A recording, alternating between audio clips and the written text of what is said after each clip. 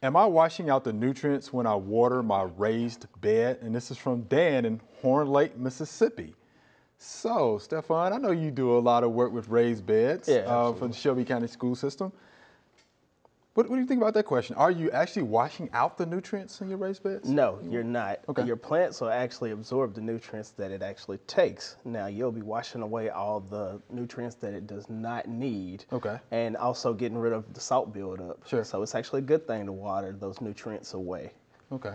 And you definitely right about the salts. I mean, fertilizers are salts.